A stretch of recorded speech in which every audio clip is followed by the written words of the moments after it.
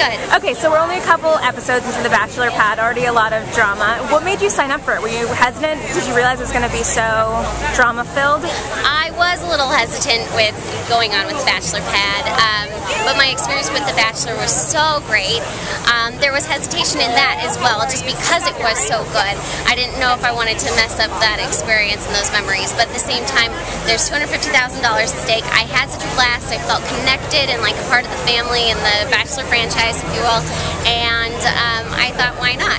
And Right. if I'm if I'm unhappy, I, I could leave or get myself kicked off. And I didn't even think that I would make it past the first week anyway.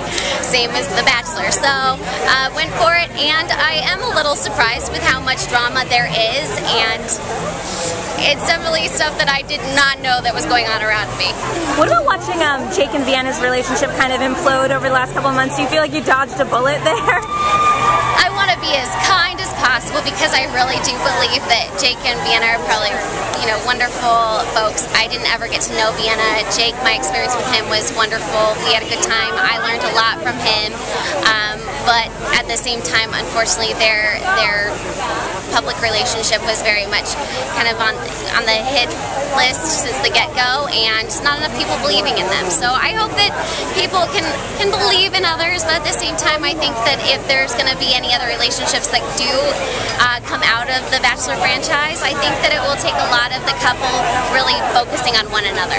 Speaking of believing in the relationships, Ali and Roberto, you are, do you live in San Diego or you're down there? I live in Orange County. I'm down in San Diego often, and um, I actually just spent uh, last Thursday evening actually with Ali and Roberto at an Oh. event, and they are so in love. I mean, I get goosebumps. So you truly really, believe really it's going to work out? I believe it's going to work out, but I also like to give them a little bit of grace, realizing that you know there is that pressure on them that everybody's watching for it to be another positive relation like relationship like Tristan Ryan and work out and everybody be happy. But at the same time, they're just like any other relationship, any other relationship under trials and tribulations and everything. So we'll see. What's up with you and Kiptyn?